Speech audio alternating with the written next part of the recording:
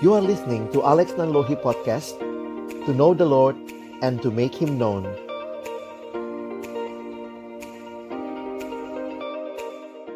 Mari tunduk kepala kita berdoa di hadapan Tuhan. Kami kembali datang dalam ucapan syukur di hari perhentian yang kau berikan kepada kami. Terima kasih kami boleh datang memuji memuliakan namamu. Dan tiba waktunya untuk kami membuka firman-Mu ya Tuhan kami berdoa biarlah waktu kami akan membuka firman-Mu, bukalah juga hati kami. Jadikanlah hati kami seperti tanah yang baik, supaya ketika benih firman Tuhan ditaburkan boleh sungguh-sungguh berakar, bertumbuh, dan juga berbuah nyata di dalam hidup kami. Berkati baik hambamu yang menyampaikan, semua kami yang mendengar. Tuhan tolonglah kami semua, agar kami bukan hanya menjadi pendengar-pendengar firman yang setia, tapi mampukan dengan kuasa, pertolongan dari rohmu yang kudus. Kami dimampukan menjadi pelaku-pelaku firmanmu di dalam kehidupan kami, di dalam keseharian kami. Ini doa kami, kerinduan kami.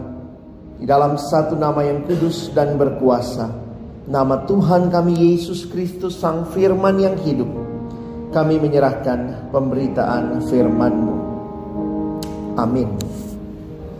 Shalom. Selamat pagi Bapak Ibu Saudara yang dikasihi dalam Tuhan Yesus Kristus. Kita bersyukur kesempatan ini Tuhan berikan bagi kita untuk sama-sama datang beribadah, memuliakan Dia dan juga mendengarkan firman-Nya. Tema yang diberikan kepada kita hari ini adalah ladang sudah menguning, ayo tuai.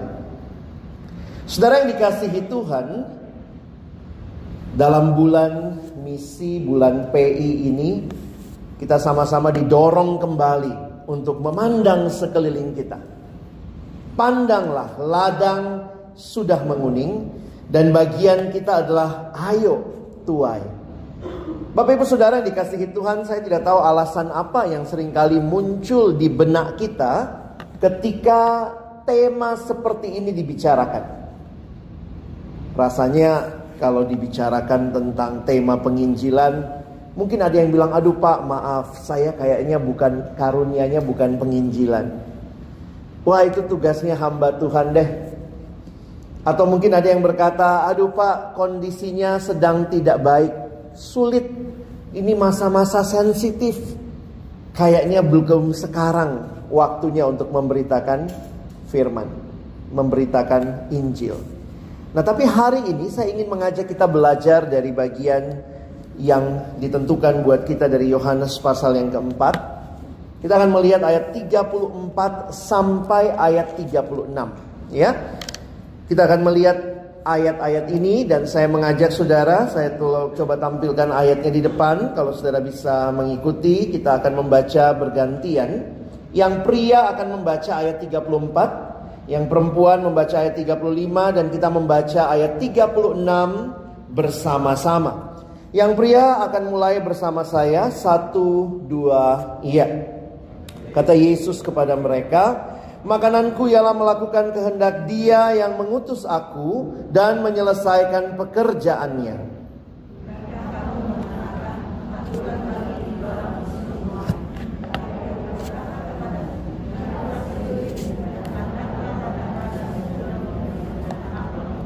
Sama-sama. Sekarang juga penuai telah menerima upahnya dan ia mengumpulkan buah untuk hidup yang kekal sehingga penabur dan penuai sama-sama bersuka cita. Penabur dan penuai sama-sama bersuka cita. Nanti kita akan lihat apa arti dari bagian ini. Nah, saya ingin mengajak Bapak Ibu Saudara memperhatikan bahwa apa yang kita baca dalam Yohanes pasal yang keempat ayat 34 sampai ayat 36 ini ada di dalam satu rangkaian perikop percakapan Yesus dengan perempuan Samaria di dalam Yohanes pasal 4 ayat 1 sampai dengan ayat 42. Ini adalah bagian percakapan Yesus dengan perempuan Samaria dan bagian yang kita baca tadi secara khusus percakapan Yesus dengan murid-muridnya. Nah, apa yang menarik kalau kita perhatikan? Saya ingin mengajak kita melihat sebelum nanti kita membahas ayat 34 sampai 36. Saya ingin kita melihat apa sebenarnya yang melatar belakangi Yesus mengatakan kalimat itu. Karena itu kita perlu lihat ke atasnya. Nanti Bapak Ibu bisa lihat di Alkitab, tapi saya juga coba memberikan gambaran. Dalam percakapan Yesus dengan perempuan Samaria ini, kita bisa merefleksikan bagaimana sebenarnya kondisi manusia di dalam dosa. Mengapa orang butuh Injil? Saudara, percakapan Yesus dengan perempuan ini menarik sebenarnya karena nama perempuan ini bahkan tidak disebut. Tidak dikasih tahu sama kita ya. Siapa nama perempuan itu? Nampaknya daerah asalnya yaitu Samaria itu lebih menarik. Karena itu disebutkan adalah seorang perempuan dari Samaria. Itu muncul di ayat 7 dan ayat yang ke-9. Nah, kombinasi perempuan dan Samaria, wah itu buat orang Yahudi sebenarnya itu seperti double minority. Kenapa? Karena buat orang Yahudi, orang Samaria itu adalah bangsa yang tidak diperhitungkan karena mereka separuh Yahudi. Dan apalagi ini perempuan. Jadi udah perempuan, Samaria, wow, orang Yahudi akan look down kepada orang perempuan Samaria. Ditambah lagi kalau Bapak Ibu Saudara memperhatikan bagaimana diceritakan, nampaknya perempuan ini tidak punya reputasi yang baik. Karena kalau perhatikan masyarakat di mana ia tinggal nampaknya tidak menyukai dia. Kebiasaan pada waktu itu orang mengambil air, khususnya perempuan, mengambil air kalau nggak pagi, sekalian sore. Siang itu panas banget. Tapi perempuan ini malah datang sendirian tengah hari, bolong. Sehingga kalau kita membaca terus kisahnya, nampaknya kita bisa menyimpulkan bahwa kehidupan moralnya rendah. Ia pun sekarang hidup bersama seorang laki-laki tanpa menikah. Jadi ini jadi triple minority ya. Sudah perempuan, Samaria, eh hidupnya amoral. Kurang bermoral saudara ya. Tetapi orang seperti inilah yang Yesus jumpai. Kalau Bapak Ibu membaca Yohanes 4 ayat 1 ini. Dikatakan ia harus melintasi daerah Samaria. Kalau saudara mengikuti rute perjalanan pada waktu itu, Yesus bisa aja muter jalannya, nggak mesti lewat Samaria. Tetapi dia melintasi daerah Samaria dengan satu tujuan yang jelas menurut saya. Bahwa Yesus mengetahui ada perempuan Samaria ini. Saudara yang dikasihi Tuhan, Tuhan tahu pergumulan kita. Tuhan tahu kondisi kita. Dan tidak ada orang yang terlalu jauh dari jangkauan Injil. Karena manusia butuh Injil. Tidak ada yang bisa bilang Tuhan saya ini berdosa banget, banget, banget, banget. Sehingga saya nampaknya tidak bisa diselamatkan. Tidak. Di sisi yang lain kalau saudara baca kisah sebelumnya. Yesus berjumpa dengan Nikodemus. Di dalam Yohanes pasal yang ketiga. Ini seorang yang secara pengetahuan Alkitab juga sudah luar biasa. Bahkan dia kalau sekarang bisa dibayangkan seperti pengajar di sekolah teologi. Tapi dia pun butuh Injil. Jadi orang butuh Injil bukan karena dia wah sangat baik nggak butuh Injil atau terlalu jahat nggak butuh Injil, tetapi Injil merangkul semua karena Tuhan Yesus datang untuk semua manusia yang sudah jatuh dalam dosa. Yang pintar, yang mengerti banyak tentang firman Tuhan sudah jatuh dalam dosa. Yang sangat berdosa pun ya jelas di dalam dosa. Nah ini menarik untuk kita perhatikan. Bahwa Tuhan tahu kondisi kita. Dan Tuhan tahu pergumulan terdalam kita. Percakapan Yesus dengan perempuan Samaria ini mengungkapkan apa yang sebenarnya sedang dia cari. Kalau Bapak Ibu Saudara memperhatikan perkataan Yesus kepada perempuan ini, Coba lihat sebentar di dalam Yohanes 4 ayat 16. Di sini Yesus berkata, "Pergilah, panggillah suamimu dan datang ke sini." Saudara, ini menarik ya. Disuruh panggil suaminya datang ke sini dan dia ngaku ya, aku nggak punya suami. Terus kata Yesus, benar kamu nggak punya suami karena yang sekarang sama kamu juga bukan suami. Saudara, apa yang dicari perempuan ini, Samaria ini? Di dalam kehausannya, tentu dia cari air, makanya dia datang ambil air, saudara. Tapi lebih dalam lagi, nampaknya dia punya kebutuhan lain, karena ada lima suami mantan, sekarang yang keenam dan belum menikah, bukan suami. Mungkin dia memiliki kehausan akan seksual, dia punya kehausan akan relasi, dan ini semua Tuhan tahu. Dan Tuhan mengungkapkan dengan pertanyaan atau kalimat tadi. Pergilah, panggillah suamimu. Saudara yang dikasihi Tuhan ini hal-hal sementara yang tidak akan pernah memuaskan dia. Makanya saya katakan tadi, apa yang dialami perempuan Samaria ini menggambarkan kondisi manusia di dalam dosa manusia yang selalu mencari kepuasan, tetapi carinya dari hal-hal yang sementara. Saudara, itu gambarannya ya, seperti orang lagi haus banget. Apa yang dia lakukan? Minum air laut. makin minum air laut, makin haus. The real problem of men and women katanya ya is the real itself ini disingkat R E A L. Manusia yang restless, senantiasa gelisah, tidak bisa tenang, manusia yang emptiness, yang kosong, orang-orang yang aimless, tidak punya tujuan, dan orang-orang yang loneliness, orang-orang yang kesepian. Ini kondisi yang ada di sekitar kita. Saudara, perhatikan. Yesus tahu kondisi-kondisi kita dan dalam cerita ini kita melihat bagaimana Yesus menjawab kebutuhan perempuan Samaria ini dengan menuntun dia untuk mengenalnya. Tuhan tahu kondisi kita dan dia rindu untuk menjawab kebutuhan itu. Saudara di sekitar kita ada begitu banyak orang Mungkin sanak keluarga kita. Mungkin juga orang-orang yang kita kenal, teman-teman kita, rekan bisnis kita, pelanggan yang datang ke usaha kita. Saudara aja kalau buka toko tahu ya.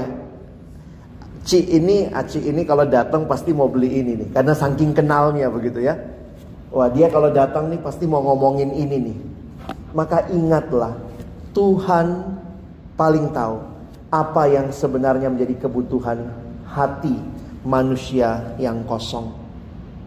Di tengah-tengah situasi ini, Yesus memberikan penegasan tentang apa itu penginjilan. Nah, itu ayat yang kita baca tadi ya. Jadi kalau Bapak Ibu memperhatikan kenapa ada ayat 34 sampai ayat 36? Karena sebelumnya ada situasi yang terjadi dengan perempuan Samaria ini dan murid-murid waktu pulang memberikan makan bagi Yesus kaget lihat Yesus bersama perempuan Samaria pula. Lalu kemudian Yesus memberikan penegasan tentang penginjilan. Nah hari ini di tengah-tengah dunia yang membutuhkan juru selamat, manusia yang hidup dalam kekosongan, manusia yang hidup dalam dosa, maka dengarkanlah penegasan Kristus tentang penginjilan yang perlu saudara dan saya saya sadari sekali lagi. Kita lihat penegasan pertama ya. Saya menulisnya ini conviction yang pertama. Keyakinan. Kita mesti tahu apa yang diyakini berkaitan dengan penginjilan. Perhatikan ayat 34. Kata Yesus kepada mereka, Makananku ialah melakukan kehendak dia yang mengutus aku dan menyelesaikan pekerjaannya. Kira-kira apa itu? Di kayu salib Yesus berkata sudah selesai. Yang berarti dia sudah menyelesaikan menanggung dosa manusia. Jadi apa yang menjadi tugas yang diberikan Allah Bapa kepadanya? Membawa berita sukacita kabar keselamatan dan menjadi juru selamat. Itu yang dia lakukan dan perhatikan kata yang digunakan. Yesus menggambarkannya seperti makanan. Makananku ialah melakukan kehendak dia. Maka perhatikan saya tulis di sampingnya. Keyakinan pertama yang saudara dan saya harus miliki bahwa penginjilan adalah kebutuhan mendasar orang percaya. Bukan sekadar masalah minat. Tadi kan kenapa enggak penginjilan? Ya saya saya kan bukan hamba Tuhan, itu urusannya hamba Tuhan. Saya kurang minat penginjilan. Memang di Alkitab ada karunia penginjilan. Tetapi setiap orang yang sudah berjumpa dengan Kristus sebenarnya kita adalah penginjil, penginjil. Seperti pengalaman perempuan Samaria ini. Di sini Yesus memberikan penegasan makananku. Makanan itu hal yang mendasar, hal yang menjadi kebutuhan. Apakah saudara sadar penginjilan itu kebutuhan diri kita? Ini agak sulit dimengerti ya. Karena kita biasanya melihat penginjilan itu seperti tugas. Tapi Yesus mau mengatakan, makananku ialah melakukan kehendak dia. Maka kalau engkau mengikut aku, jadikanlah penginjilan seperti kamu melihat makanan. Itu kebutuhan mendasar yang harus dan mau tidak mau saudara lakukan. Tidak tergantung kita hamba Tuhan, bukan hamba Tuhan, sekolah teologi, tidak sekolah teologi, tapi penginjilan adalah memberitakan kabar baik. Dan itu menjadi kebutuhan mendasar. Mengapa kebutuhan mendasar? Perhatikan penjelasan ini. Saudara, pemberitaan Injil adalah kehendak dan pekerjaan Yesus yang tidak dapat ditawar dan diganti dengan cara lain. Inilah cara Allah menyelamatkan manusia berdosa, yaitu melalui setiap umatnya mewartakan karya keselamatan ilahi ke seluruh penjuru dunia. Ini caranya Tuhan. Pakai manusia, beritakan kepada manusia lain. Makanya kalau kita orang percaya, penginjilan itu bukan opsi. Tapi kebutuhan seperti makanan. Kadang saya mikirnya iseng ya. Apa Tuhan kurang berkuasa? Bikin aja tiba-tiba di langit tertulis ya. Yohanes 3 ayat 16. Jadi semua orang percaya, lihat wah langit begitu. Tapi bukan begitu cara Tuhan memenangkan dunia. Karena itu perhatikan, dia kirim Yesus jadi manusia. Injil itu menceritakan kepada manusia yang lain. Sekarang banyak teknologi kita pakai. Tapi tetap penginjilan itu adalah ada orang yang mungkin menggunakan teknologi ataupun langsung berbicara memberitakan kepada orang lain.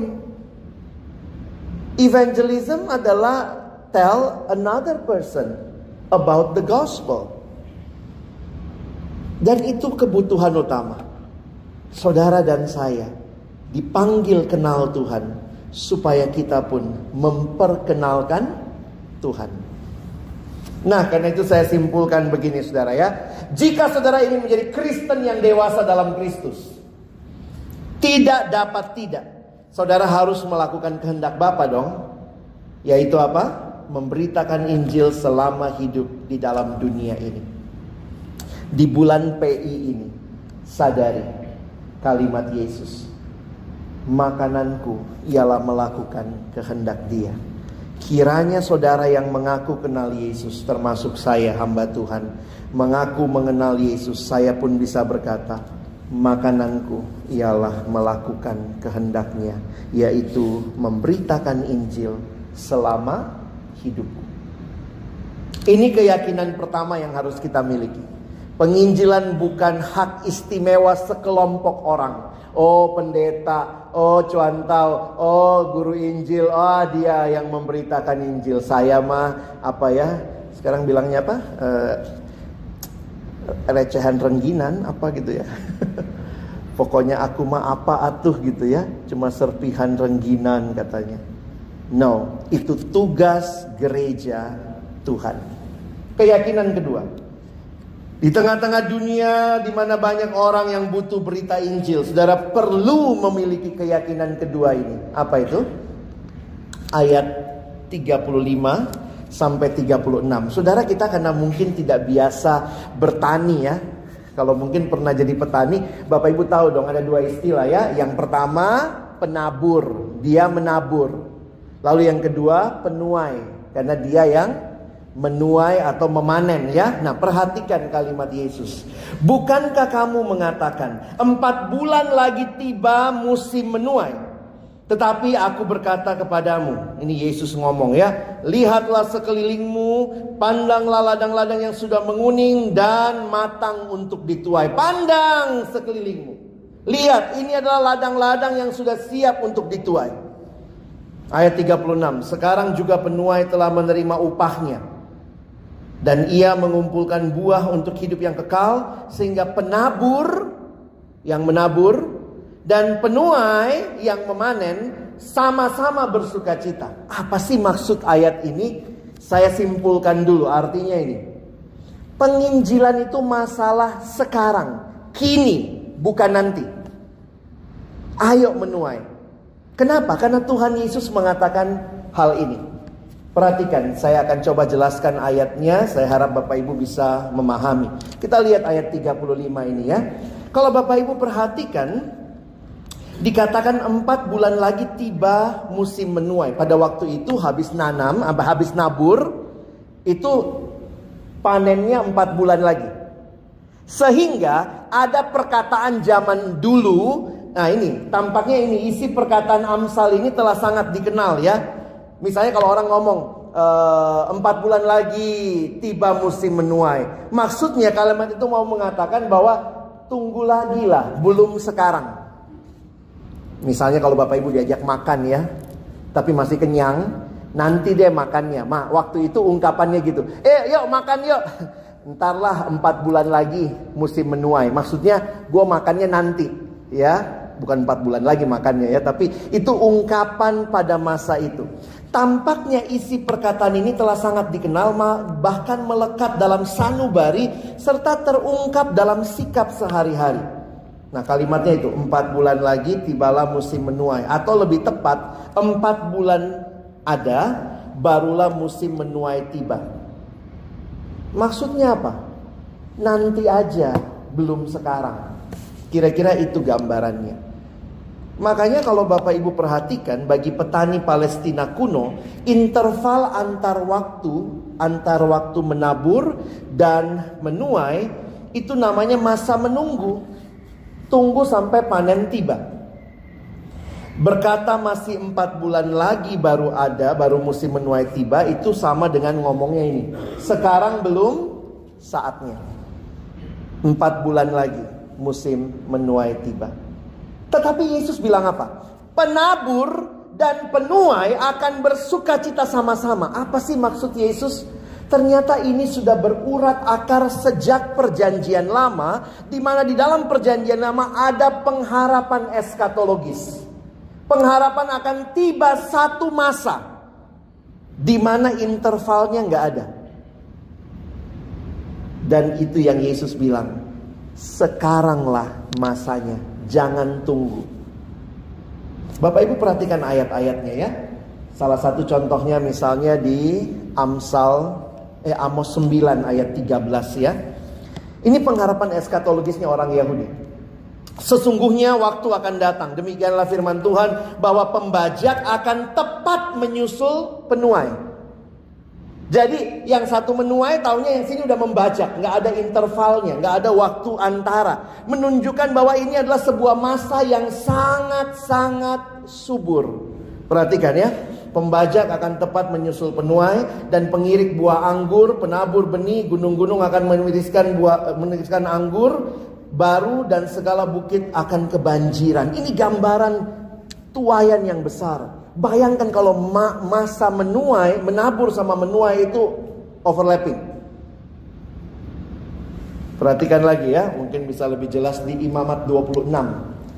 Imamat 26 ini mengatakan lamanya musim mengirik bagimu akan sampai kepada musim memetik buah anggur dan lamanya musim memetik buah anggur akan sampai kepada musim menabur. Kamu akan makan makananmu sampai kenyang dan diam di negeri di negerimu dengan aman tentram. Bayangkan ini masa-masa yang dulunya mesti ditunggu, Yesus bilang, sekarang nggak ada tunggu-tunggu. Kamu bahkan akan menuai di tempat yang kamu tidak tabur. Jadi ini pengharapan eskatologis orang Yahudi bahwa menabur dan menuai, menanam dan memetik hasil akan terjadi secara berturut-turut, terjadi dengan cepat dan hampir pada waktu yang sama. Akan ada kesuburan begitu rupa sehingga tidak ada lagi masa-masa penantian seperti dulu. Jadi apa maksud kata-kata Yesus tadi? Sederhana. Kata-kata Yesus tidak punya arti lain kecuali merupakan suatu pernyataan dan penegasan bahwa zaman emas itu sudah tiba dengan kehadiran Yesus. Zaman Allah telah datang, yaitu zaman ketika firman diucapkan, benih ditaburkan dan panen segera datang. Ini yang Tuhan sampaikan. Jadi kalau kita bilang tunggu deh, nanti deh kalau suasananya lebih baik baru penginjilan. Yesus berkata sekaranglah the best time to do it. Ini dalam Yohanes 4. Coba lihat aplikasinya ya. Sekarang dan sampai kapan pun bukan lagi masa menunggu. Kadang-kadang kita ngomong begitu ya. Penginjilan nunggu dulu nih sampai kondisi lebih baik. Penginjilan tunggu dulu sampai suasana kota Jakarta lebih tenang, lebih aman. Tunggu dulu penginjilan kalau sudah tidak ada lagi ancaman beribadah, kalau tidak ada lagi isu-isu seputar sara, tunggu deh supaya tidak ada lagi resiko aniaya dan bagi upaya-upaya pemberitaan Injil. Tunggu deh sampai tidak ada lagi kebencian dunia terhadap Kristus. Kalau begitu prinsip kita tunggu deh nanti aja deh kalau sudah tenang sudah aman sampai kapan pun saudara nggak beritain Injil ya karena suasana nggak akan tetap tetap nggak akan sampai pada kestabilan yang sangat baik kecuali Yesus datang kedua kali jadi Tuhan mau bilang sama kita kita tidak hidup dalam masa menunggu kita telah masuk dalam masa menuai sekarang ini tidak ada lagi jiwa yang belum siap untuk mendengar dan menanggapi berita Injil. Masalahnya bukan lagi waktu yang tepat, karena sekaranglah waktu yang paling tepat. Saudara, bukan berarti kita tidak berhikmat, beda ya. Tapi kadang-kadang kita nunda, kita nunggu, kita ngerasa belum sekarang waktunya. Waktu itu, murid-murid berpikir, Harusnya orang Yahudi dulu fokusnya, nanti dulu Samarianya. Tapi Yesus bilang tidak, sekarang waktunya. Aku harus lewat Samaria. Dia ketemu perempuan ini dan perempuan itu bertobat. Dan apa yang terjadi? Bahkan satu kampung ikut bertobat. Kapan waktunya? Sekarang. Kalau Tuhan gerakkan hati saudara untuk memberitakan Injil, jangan tunggu-tunggu ya. Sekaranglah waktunya. Saya menuliskan sebagai kesimpulan, keberhasilan penginjilan bukanlah bergantung pada waktu yang tepat versi kita, tapi pada ketaatan kita mendengar suara Allah dan tentunya kepada kuasa Allah di dalam dan melalui ketaatan kita. Kadang ada dorongan-dorongan ya, saya beberapa kali juga dalam pelayanan, dalam kehidupan, ketika jalan, terus kayaknya Tuhan dorong, ayolah beritain Injil sama orang ini ya. Kadang-kadang kita bilang, aduh nggak tepat ini lagi di bus Tuhan, lagi di bus ya. Tapi Tuhan bilang, ayo cerita. Satu waktu ketemu lagi dengan ada anak sekolah, saya pikir kok saya digerakkan Tuhan begitu rupa, ayo ceritakan Injil. Beritakan kepada dia. Kadang-kadang kita merasa belum sekarang Tuhan, nanti tapi Tuhan bilang sekaranglah waktunya. Saudara yang dikasihi Tuhan, lihatlah sekeliling. Sudah berapa lama saudara tunggu? Mungkin sekarang Tuhan bilang, now it's the time. Beritakan Injil sama keluargamu, sama anakmu, sama orang tuamu, sama keluarga besarmu, sama rekan bisnismu, sama temanmu, kenalanmu. Now it's the time. Dua keyakinan ini. Kebutuhan mendasar, semua kita pemberita Injil. Yang kedua, waktunya adalah sekarang. Apa yang terjadi dengan perempuan Samaria ini setelah dia berjumpa dengan Yesus? Yesus yang adalah the living water, air hidup yang bisa memberikan kepuasan sejati. Maka saudara perhatikan Alkitab mencatat. Maka perempuan itu meninggalkan tempayannya di situ, lalu pergi ke kota dan berkata kepada orang-orang di situ, "Mari lihatlah di sana ada seorang mengatakan kepadaku segala sesuatu yang telah kuperbuat. Mungkinkah dia Kristus?" Maka mereka pun pergi keluar kota dan datang kepada Yesus. Siapa penginjil pertama di Samaria? Perempuan amoral ini yang ketemu dengan Yesus. Dia datang ngambil air. Begitu ketemu air hidup, sampai tempayannya pun ditinggal, ya. Dan apa yang luar biasa, satu kampung, satu kota bertobat ya. Tetapi kalimatnya di ayat 42. Kami percaya. Tapi bukan lagi karena apa yang kau katakan hai perempuan. Sebab kami sendiri telah mendengar dia. Dan kami tahu bahwa dialah benar-benar juru selamat dunia. Akhirnya semua datang kepada Tuhan. Saya tutup dengan slide ini. Pemberita Injil yang paling efektif adalah setiap kita yang sudah berjumpa dengan Kristus dan bahkan yang terus-menerus diubahkan untuk semakin serupa Kristus. Saudara dan saya adalah pemberita-pemberita Injil, bukan nanti, tapi saat ini.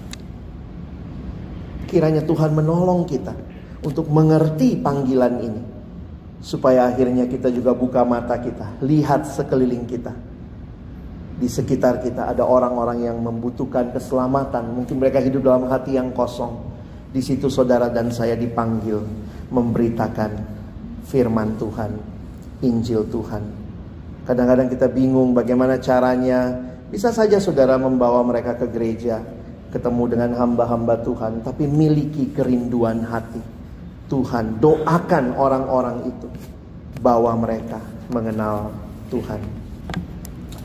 Saya akan tutup dengan sebuah ilustrasi yang saya dengar beberapa tahun lalu.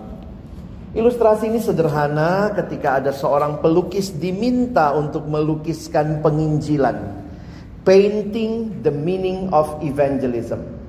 Lalu apa yang dilakukan? Pelukis ini mengambil kanvas, dia membayangkan tentang penginjilan lalu dia mulai melukis. Apa yang dia lukis saudara? Dia melukiskan kondisi sebuah badai di tengah laut. Dia mulai menggambarkan langit yang kelam, awan-awan pekat, lalu ada sambaran kilat. Dia menggambarkan laut yang bergelora, bahkan dia menggambarkan sebuah kapal kecil yang terhempas di karang-karang penghancur kapal itu hancur dan kemudian terlihat beberapa pelaut yang ada di kapal itu akhirnya memegang serpihan-serpihan kapal di tengah ombak yang begitu rupa untuk bertahan hidup. Satu-satunya gambaran pengharapan dalam lukisannya dia gambarkan sebuah batu karang yang menyembul dari tengah laut sebagai latar depan ada batu karang yang menyembul dari tengah laut dan batu karang itu seperti gambaran pengharapan Tuhan yang adalah batu karang yang teguh. Di batu karang itu terlihatlah seorang pelaut kesepian yang memeluk batu karang itu dengan kedua tangannya sementara menyaksikan rekan-rekannya tenggelam. Apa yang kemudian dia lihat dia sudah gambarkan, dia bilang inilah penginjilan. Begitu mengerikannya kondisi.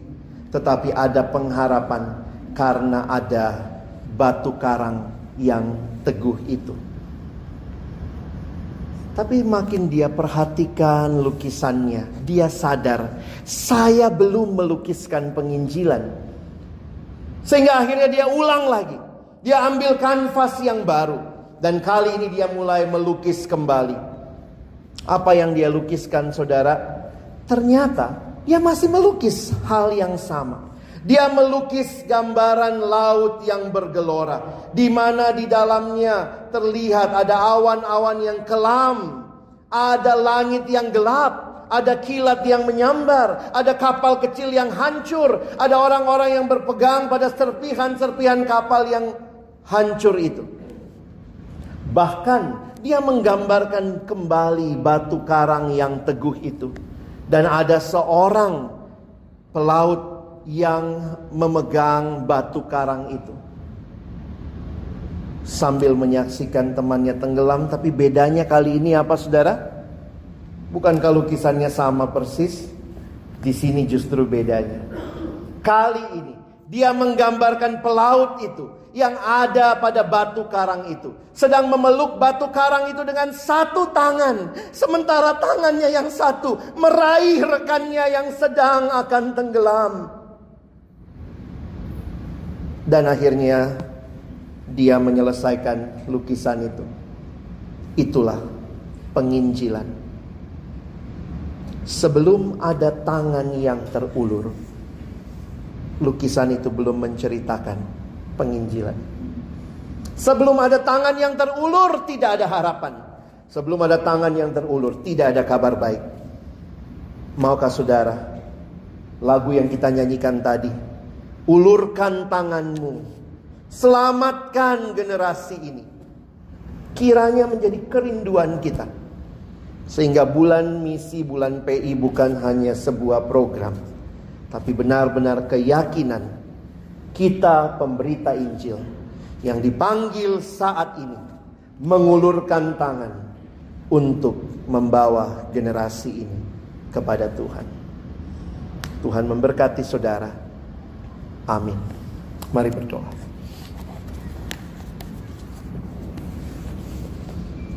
Tuhan terima kasih untuk firman-Mu. Tolong kami. Buka mata kami. Lihat sekeliling kami. Memandang ladang-ladang yang sudah menguning, siap untuk dituai. Berikan hati yang berbelas kasih. Berikan kami tangan yang terulur menjangkau mereka bagi kemuliaan Tuhan. Dalam nama Yesus kami berdoa. Amin.